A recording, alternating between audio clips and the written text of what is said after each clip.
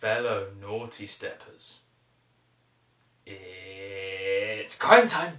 I was going for a bit of a here's Johnny thing there, don't know if it quite came across. But if you hadn't guessed from that brief introduction already, or from having looked at the title to this video, then the EP that I will be covering today is the latest from Krimer for Never Say Die's black label, Krime Time. A Montreal-based dubstep producer with certainly one of the more ravenous styles of production that I've become accustomed to over the past few years. Finding his way onto the scene through Octane Radio and appearances on both Disciple and Firepower Records before embedding himself in the Never Say Die family. And with regards to that ravenous style of production, it is one that certainly took me a bit of time to get used to, but which is undeniably unique.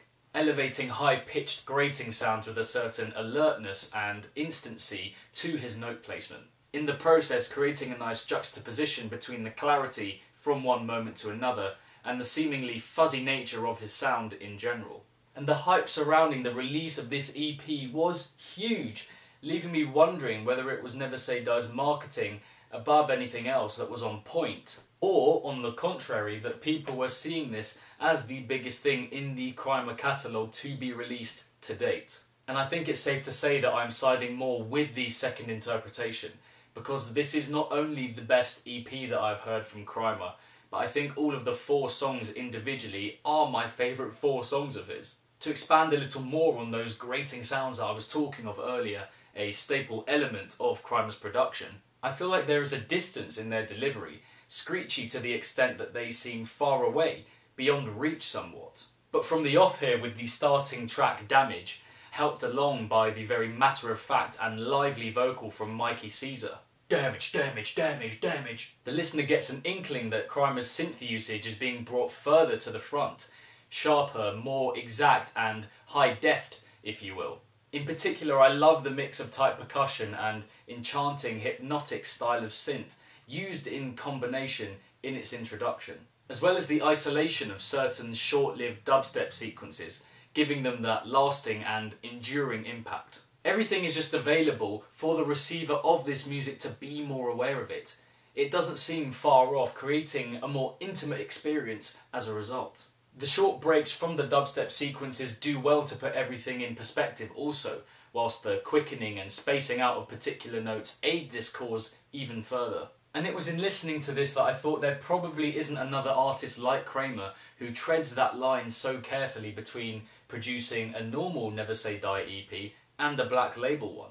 That alienating underground darkness associated with rhythm, coupled with the more colourful and bombastic insistence favoured in the brostep sphere. The incorporation of the latter explaining the drifting in of Spag Heddy in the track Got Damn, which couples the Pasta Man's spirited, circus-like approach with Krimer's forceful structure. And I love those vibrant little plinky plonky notes trudging away in the background of the introduction here. And the drop is just such a clear blend of two styles, both inserting little bits of naughtiness wherever they can. That bit where it quickens briefly at the one minute mark and you're just like, oh fuck me, this is naughty.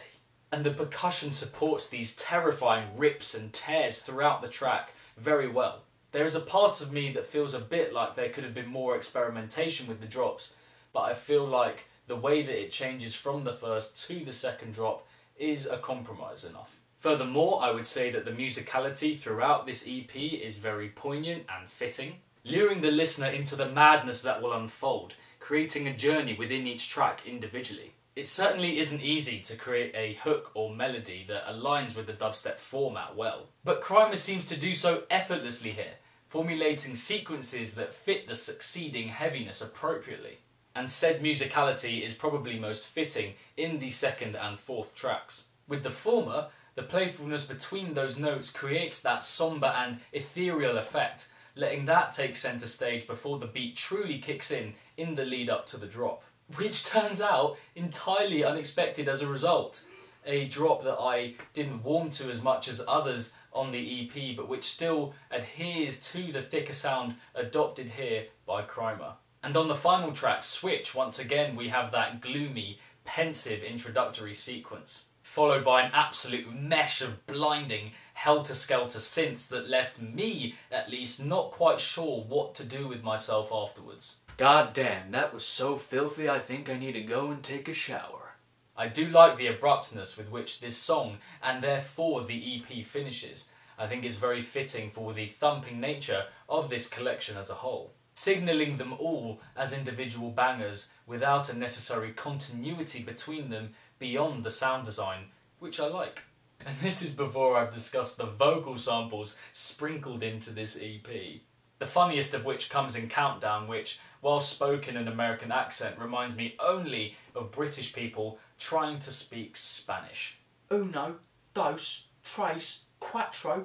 I can speak Spanish now. Or the one used just before the drop in the Spag Heddy collab, an exasperated, strained breaking point just before the madness ensues. Goddamn son of a drop!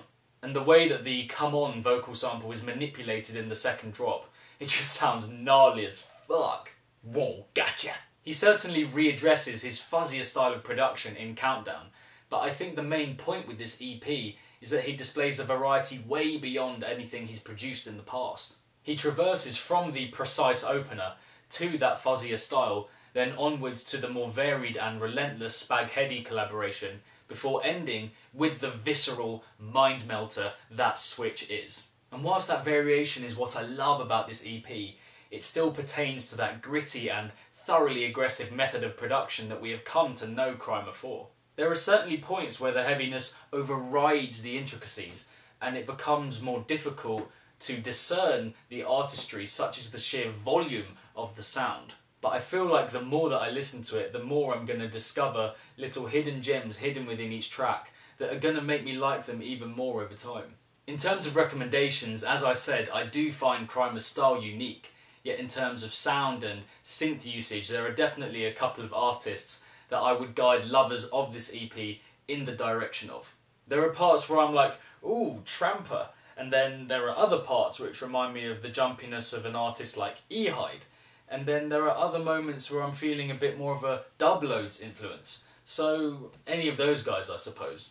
And in terms of a favourite track from this EP, then I would have to go with the Spag Heddy collaboration Goddamn, which I think pits two similar yet fundamentally different styles together very well from start to finish. And that's that for my thoughts on the latest EP from Krimer, released on Never Say Die's black label, Krime Time.